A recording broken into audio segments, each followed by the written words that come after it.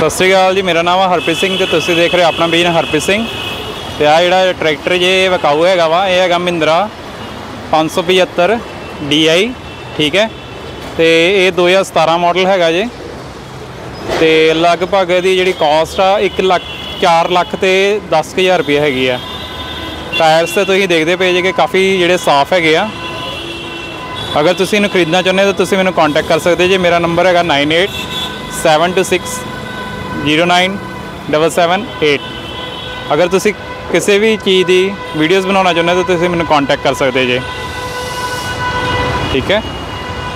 Engine ਵਗੈਰਾ ਤਾਂ ਮੈਂ ਤੁਹਾਨੂੰ ਦਿਖਾ ਹੀ ਚੁੱਕਾ ਕਿ ਕਾਫੀ ਸਾਫ਼ ਹੈਗਾ ਵਾ। ਔਰ ਟਾਇਰਸ ਤੇ ਦੇਖ ਹੀ ਲਓ। ਦੇਖੋ। ਸਾਰਾ ਕੁਝ ਸਾਫ਼ ਸੁਥਰਾ ਹੈਗਾ ਟਰੈਕਟਰ ਦਾ। ਤੇ ਅਗਰ ਤੁਸੀਂ ਨਵੇਂ ਟਰੈਕਟਰ ਖਰੀਦਣਾ ਚਾਹੁੰਦੇ ਹੋ ਮਹਿੰਦਰਾ ਵਾਲਿਆਂ ਤਾਂ ਵੀ ਮੈਨੂੰ ਕਾਲ ਕਰ ਸਕਦੇ ਜੇ।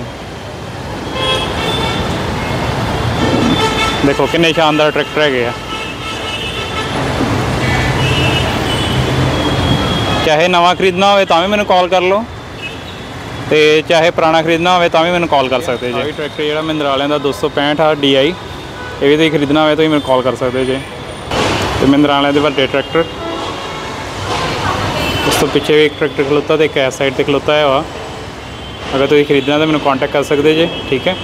Have a nice day and subscribe my channel and press the bell icon ਜਿਹੜੀ ਘੰਟੀ ਹੁੰਦੀ ਜ਼ਰੂਰ ਵਜਾਇਆ ਕਰੋ। ਠੀਕ ਹੈ? ਟਰੈਕਟਰ ਤਾਂ ਤੁਸੀਂ ਦੇਖਦੇ ਪਏ ਜੇ ਕਾਫੀ ਵਧੀਆ ਹੈਗੇ ਆ।